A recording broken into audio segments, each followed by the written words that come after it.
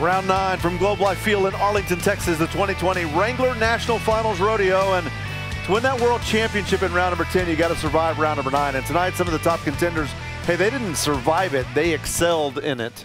Yeah, they did. Round number nine, you know, we see a lot of things move around in this round. Sometimes it gets a little disappointing. It didn't get disappointing tonight. It was awesome. Boy, some guys made some great moves. Yeah, some average jockeying between Kaycee Feild and Tim O'Connell, but the go-round win goes to Cole Reiner, 89 and a half points. He was on Arbitrator Joe from Calgary. Shocker. Calgary Bronc carries another guy to the winner's circle.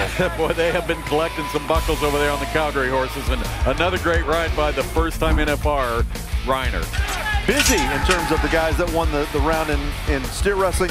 Matt Reeves was in there, Tyler Waguespack, and Jacob Talley. Yeah, huge run for Matt Reeves, you know, 3-5, but then here comes Waguespack, did a great job catching this steer. 3-5 to time, and they thought, well, that's pretty good. It's all over. No, it's not. Not until Talley goes. 3-5, three runs, three champions. Boy, that guy, when he gets his hands on them, he uh, disposes of them quickly.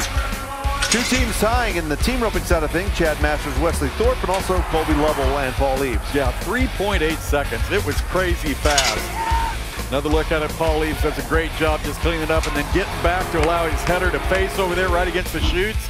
That was good. Boy, you got a huge fight going on in saddle bronc riding. You got Ryder Wright trying to win it all. He's one in the world, one in the average.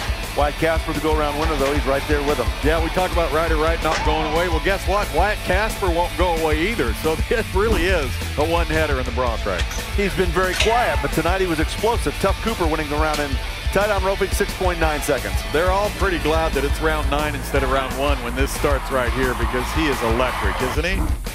Barrel racing, Hailey Kinsel and sister do it again. Mathematically, I'm, I'm not sure anybody's going to be able to catch them. I think I'd step out on that limb a little bit with you. You know, sister almost hit this barrel and tipped it over.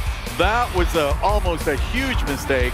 After that, she just cruised into the victory once again. Yeah, three, chasing three straight world championships and that average title.